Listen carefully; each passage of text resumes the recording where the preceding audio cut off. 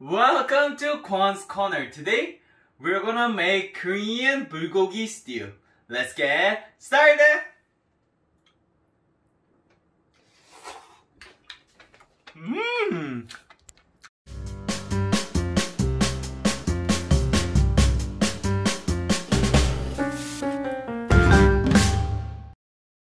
안녕 친구들, are you guys ready to cook? Winter is officially here. It's December. Winter means stew in Korea. But a lot of stew doesn't have enough meat. So today, I'm gonna teach you my favorite Korean stew recipe. It's perfect for cold winter days, meal prepping, and you can have a lot of meat. Today's recipe is...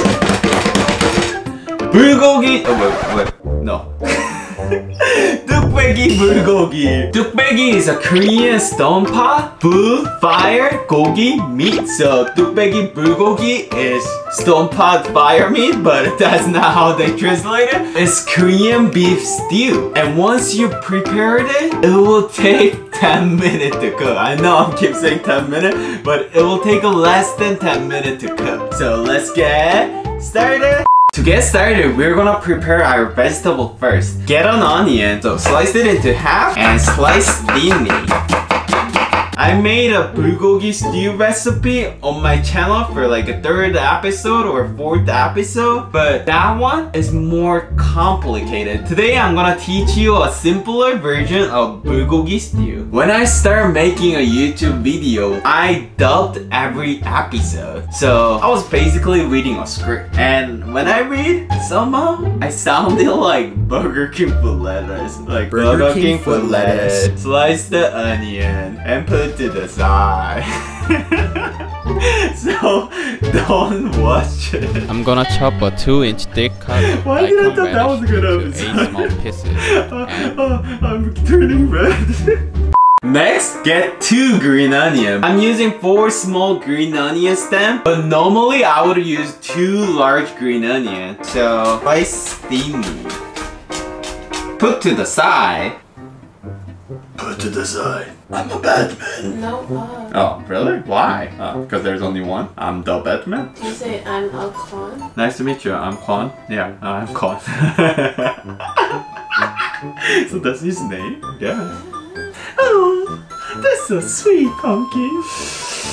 Every single Kwon's episode has a random joke from random TV show that they randomly walking past. I don't think. Sometimes it's Am I, dead, sometimes it's Am I gonna put this? sometimes it's I don't know. Get four spicy peppers. But if you don't like it, make sure to skip this part. Bulgogi doesn't need to be spicy at all. But in my city, Daegu, our food is mostly salty and spicy. So I like to make every single food spicy and bulgogi as well. So I got four spicy pepper, but make sure to change it to your preference. So cut the stems. Ooh, this pepper. Oh, very spicy. I like it, pumpkin. and sliced thinly. Sounds like you're doing Amagashi. No, it's not. Mamachi will be like. No, I shouldn't do it. Do it. Very, very delicious. So, sliced thinly? Something like that. And put to the side. Now we're gonna make our sauce. First, we need 6 cups of water, 1 cup of soy sauce, jinganjang, and 1 cup of mirin, 1 cup of white sugar. Just so you guys know, the adding a cup of sugar might be gross and too much. But if you like the bulgogi, they're adding a lot of sugar. You just didn't notice. So feel free to skip the sugar, but I wouldn't guarantee the taste for you guys then. Well, all the Korean food, they add sugar. Why are you so sweet? Oh, I got it from my daddy. Next, 2 tablespoons of dashida, Korean beef stock. About 1 tablespoon of onion powder. Half a tablespoon of garlic powder. Half a tablespoon of fish sauce two and a half tablespoons of chamgirim sesame oil. Lately, Mochi has been watching me every time I film. If any of you make YouTube videos too, I was wondering if your dog or cat watches too. Is it normal or is it being weird? And I was wondering whether you guys want me to make more videos with Mochi? Please let me know in the comment down below. I don't know what I can film with him, but he's my cutie patootie, so I don't wanna wait his cuteness. Next, get 4 tablespoons of minced garlic. Last, sprinkle some black pepper. This all depends on your preference. Some people don't like black pepper and some do, so add as much as you like. And I'll give, I forgot how much. About like 15 twists and mix it well. Make sure to mix it well. All of the sugar will be on the bottom so we gotta dissolve it. 어 미쳤다 냄새. 돌았다 돌았어. Next, get 1 kilogram of thinly sliced sirloin and put it into the Tupperware.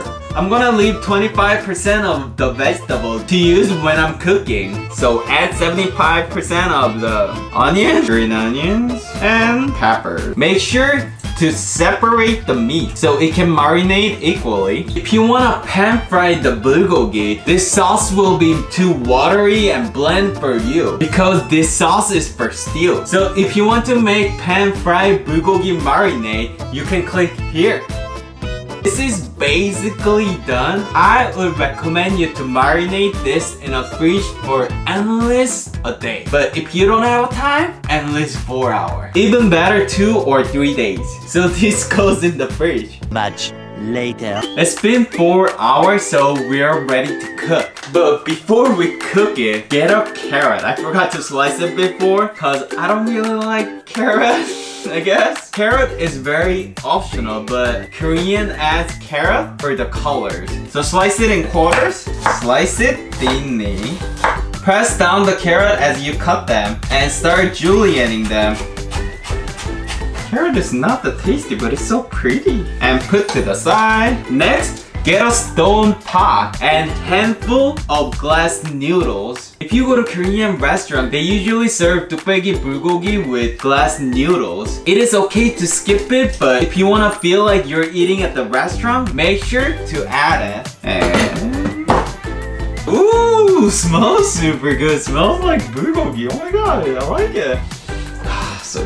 And get as much meat as you like. Add your marinade and we're gonna add some onions, carrots, spicy peppers, green onions. Turn your stove on high heat and we're gonna wait until it boils. I usually get tukbaegi bulgogi for lunch at work and usually it's about like a 7 to 10 dollars depending on where you go. I really like the flavor but they never put enough meat. But when I make it for myself, I can add as much as I like. So I like to eat it at home way more. I feel like I'm in a restaurant though, oh my gosh. Once it start boiling, you can see these like like a brown bubbly part. I think it's okay to eat, but this is like a bad part and oil. And my mom always told me to take it out, so I'm gonna take it out. It look like that. It's oil and a blood, that's what they say, from the meat. Once it's like bogle bogle and boiling, before it boils rapidly, we're gonna turn into medium low. Since bulgogi is a thinly sliced beef, it's already cooked, but I'm cooking a little longer to intensify the flavor of the broth. After 3 minutes of boiling, we're gonna add enoki mushroom on top of it. That's it! Our tukbaegi bulgogi is all ready to eat.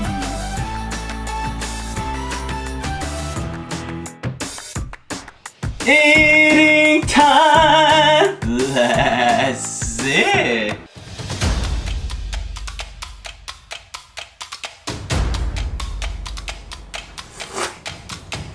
Wow, 미쳤다. Like, oh, I just had a soup, but the flavor is super strong. Oh, let's try the meat. Wow.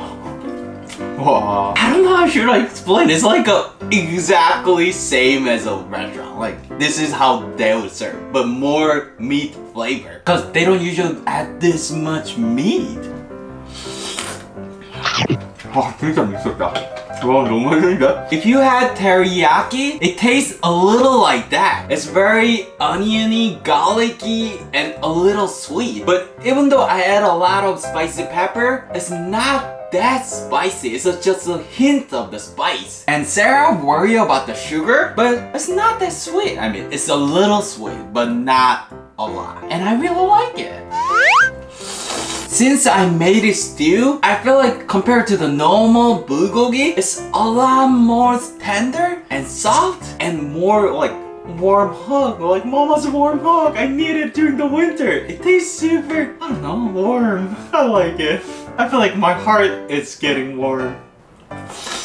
I think best way to eat glass noodle is in the soup. It soak up all the flavor of the soup. I think it might be best part. I really like it. It goes super well with it. It's like a really nice like ramen with the meat on it. Like I'm eating a noodle with a super nice tender sirloin. It goes super well. I really love it. It's super delicious and it's best for the winter. So you should definitely try it. So that's it for today's episode and if you like this episode, please hit the like button. That will help my channel a lot. What time is it?